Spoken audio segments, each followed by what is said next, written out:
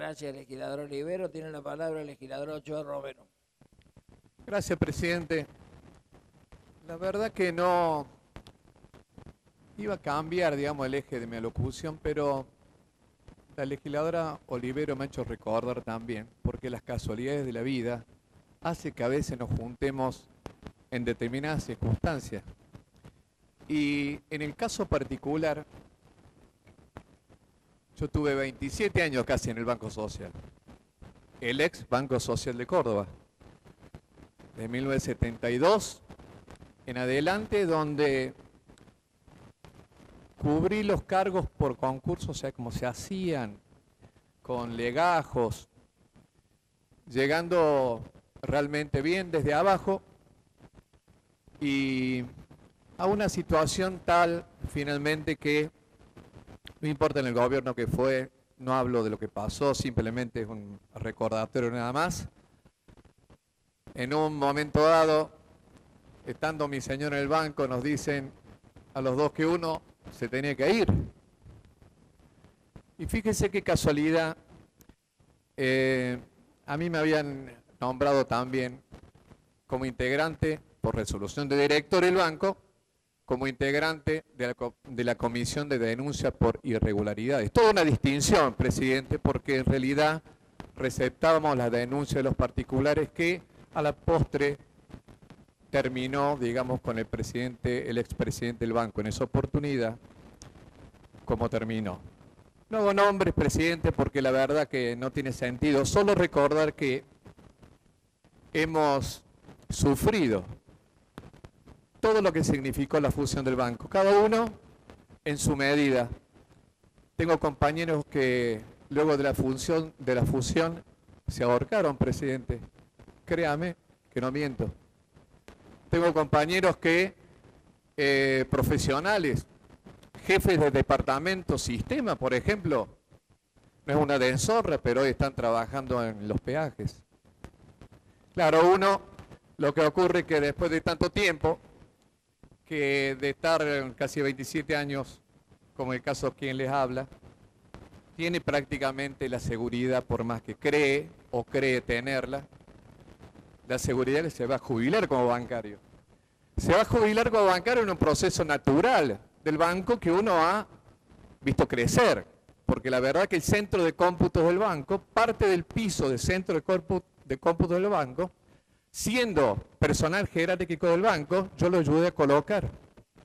Yo lo ayudé a colocar. Y no me avergüenzo, presidente, realmente creíamos en la institución. Éramos empleados que estábamos consustanciados con la institución. Y de un momento para otro, eh, en buenos términos, por supuesto, porque cuando uno es decente, la verdad que no hace falta que lo traten mal. En buenos términos, termina mi situación bancaria diciéndonos o diciéndome que como mi señor y yo trabajamos en el banco, uno de los dos se tenía que ir. Esta realidad hace que después de 26 o 27 años uno tenga que salir a la calle, como ocurrió con muchos compañeros, vaya a saber hacer qué, ¿no? Yo ya era profesional y era abogado gracias a mi padre, que hoy realmente recuerdo que si no hubiera sido profesional y abogado en esa época, vaya a saber a dónde estaría o dónde hubiera estado también, porque nadie se imaginaba que con un cargo importante, de un momento para otro, lo iban a llamar uno para decirle de buena forma que uno de los dos se tenía que ir. Y hoy mi señor está en la Lotería de Córdoba, que tiene casi 35 años de antigüedad. Pero bueno, estas son las cosas, digamos, que pasan en la política realmente cuando las instituciones son políticas y las instituciones no son estrictamente bancarias y la política hace de los hombres, cosa que realmente no deberían hacer. Pero sin dar nombre, presidente, yo soy una persona positiva, gracias a Dios hay que seguir adelante y entiendo que esta capitalización, indudablemente, como era que es muy importante para el actual Banco de Córdoba, única institución de los cordobeses hoy. Creo que que los auditores externos se vayan del banco, no estén en el banco, y que sí la auditoría interna, que es el organismo que realmente debe propiciar todos los controles y rendir cuentas al Banco Central es un paso importante. Es más o menos, me recuerdo ahora también, cómo ha pasado con la dependencia que ha tenido el Estado Nacional del Fondo Monetario. Mientras el Fondo Monetario estuvo aquí en Argentina, indudablemente que la situación era otra y ahora cambió. Pero mire, presidente, eh, voy a esperar a ver si mis compañeros legisladores me hacen. Gracias. Presidente, le decía de que esto de no estar hoy en día en situaciones que se estuvo, que, como la que se tuvo antes, me parece a mí que es un paso importante. La capitalización, indudablemente, como era que tiene como etapa previa el saneamiento del banco. Yo considero, presidente, que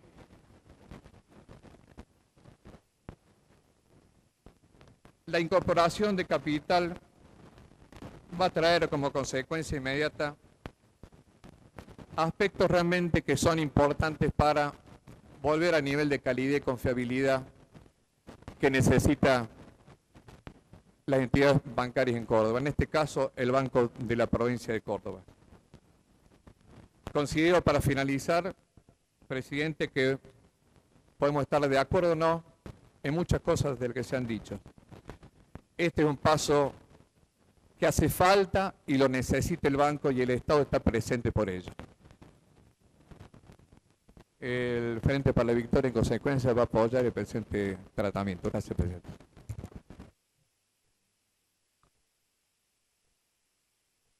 Tiene la palabra la legisladora Heredia. Gracias, señor presidente.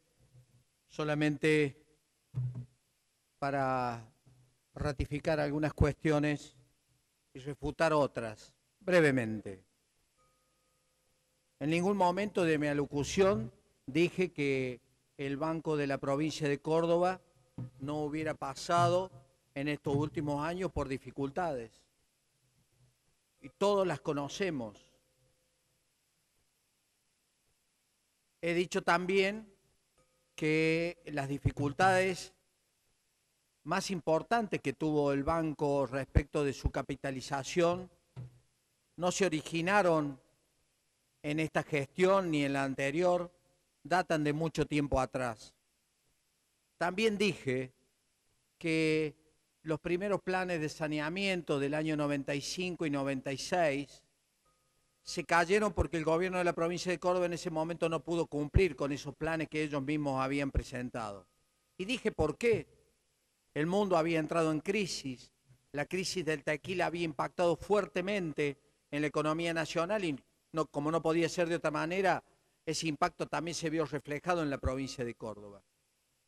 Hice hincapié en un elemento que me parece central y que todos de una manera u otra han hecho alusión, que es a la fusión del Banco Social con el Banco de la provincia de Córdoba. Y es cierto que en esas circunstancias también existían dos bancos en la provincia de Córdoba. No existen ahora, señor presidente y señores legisladores, dos bancos. Existe una gestión que tiene continuidad y que arrancó con dificultades, todas las conocemos, y que esas dificultades que atravesó nuestro país impactaron fuertemente en nuestra institución bancaria. Y eso no lo hemos negado. Pero no hay dos bancos ahora, señor presidente. Sí hubo dos bancos con anterioridad. Y una de las dificultades por las cuales atravesó el Banco de la provincia de Córdoba fue precisamente que esa fusión forzada con el Banco Social le ocasionó perjuicios, no beneficios. Y si hubo ladrones, pagaron con la cárcel. Eso ya es historia, que sirve solamente como referencia para determinar las dificultades por las cuales atravesó la institución crediticia Señera en la provincia de Córdoba. Luego vinieron las otras dificultades, derivadas también de las crisis de nuestro país, que eso hizo imposible que en las gestiones del doctor de la Sota se pudieran cumplir con esos requisitos. porque no había un peso en el país, porque no había un peso en la provincia de Córdoba.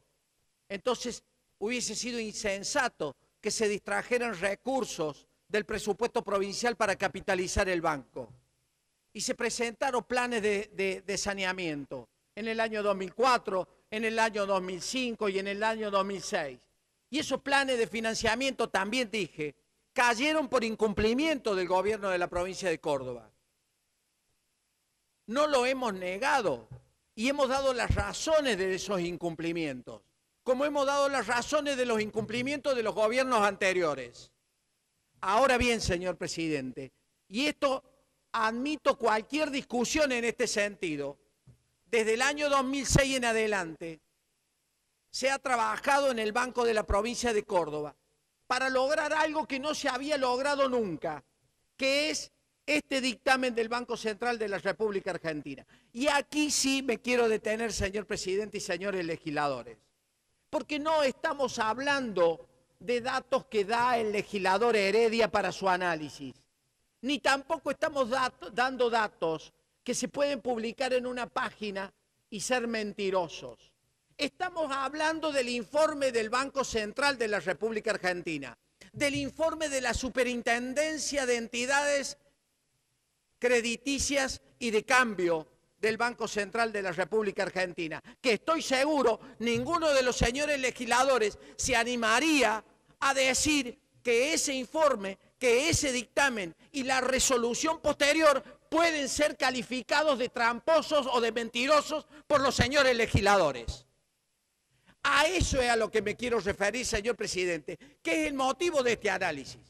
Porque puede mentir el legislador Heredia, pero difícilmente el análisis de la superintendencia de bancos, de bancos del Banco Central de la República Argentina mienta, sobre todo cuando tiene que dar facilidades para el cumplimiento de un plan de saneamiento con la responsabilidad que tiene esa institución.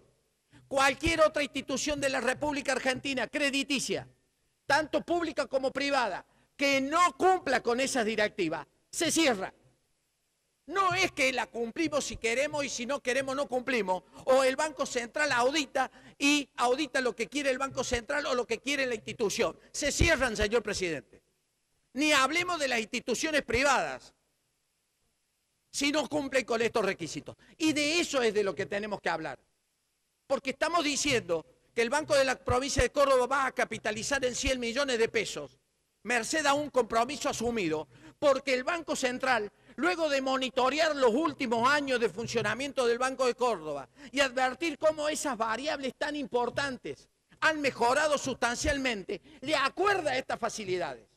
Y no se las acuerda porque haya balances mentirosos. Se las acuerda porque ha auditado internamente. Se lo dije recién, señor presidente. Dentro del Banco de la provincia de Córdoba había una auditoría permanente del Banco Central que incluso llegaban a obstaculizar las operaciones del banco porque si no pasaban con el visto bueno de esa auditoría, no se podían hacer las operaciones del banco. Quiere decir, señor presidente y señores legisladores, que no estamos hablando de balances mentirosos, ni de la mentira de un legislador.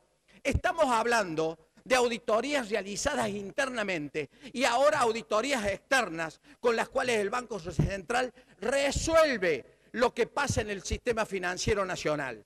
Y es la verdadera entidad que regula lo que establece la ley de entidades financieras en el país. Acá no hay comisión investigadora que valga, señor presidente. La única comisión investigadora, la únicos que hacen auditoría en los bancos, lo único que determinan si una entidad está, es saneable, si una entidad puede estar en el mercado crediticio nacional es el Banco de la República, el Central de la República Argentina. Y no hay ninguna otra institución que pueda dar fe de eso.